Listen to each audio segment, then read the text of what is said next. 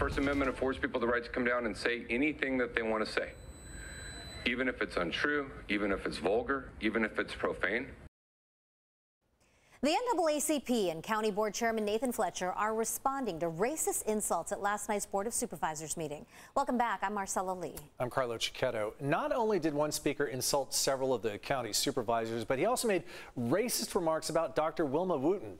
Board members have responded and called out the behavior. News 8's Heather Hope has more on the fallout and what Nathan Fletcher is saying tonight.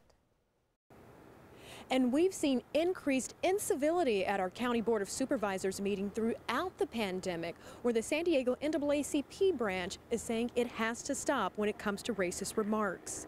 Yeah, I mean the situation is just getting it's getting worse uh, every meeting. And look, there was a heated back and forth exchange at Tuesday night's San Diego County Board of Supervisors meeting after one speaker from the audience named Jason Robo said a litany of insults to the board members. Vargas, I can't wait for your arteries to clog. They're not doing it fast enough.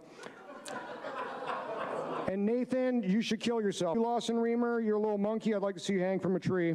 Robo didn't stop there. He also insulted the county chief medical officer, Dr. Wilma Wooten, by using a racist remark to which County Supervisor Nora Vargas clapped back and even cussed at the speaker. Oh, well, it's the first time they responded. Oh, no. No, I'm They actually sorry. responded. Let's have a dialogue.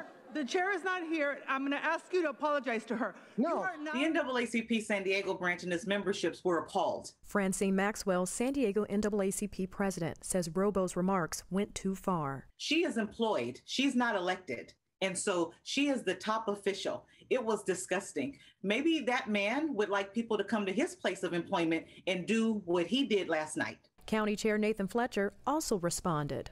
Jason Robo, your comments earlier were blatantly racist. I don't think you believe anything that you say. Maxwell says the board needs to prevent future racist outbursts from continuing to happen by setting new protocols in place. Someone yelling expletives, talking about someone's weight, someone being called a monkey, have we really sunken that low? Fletcher says under law, currently speakers can say whatever they want in their allotted time, but that could change if the board votes on new rules on its November 17th meeting. So I'm going to assess uh, the rules and procedures. We're going to always comply with all applicable laws. Uh, but I think we can expect some changes to come to, to how, how the meetings are conducted. Heather Hope, News 8.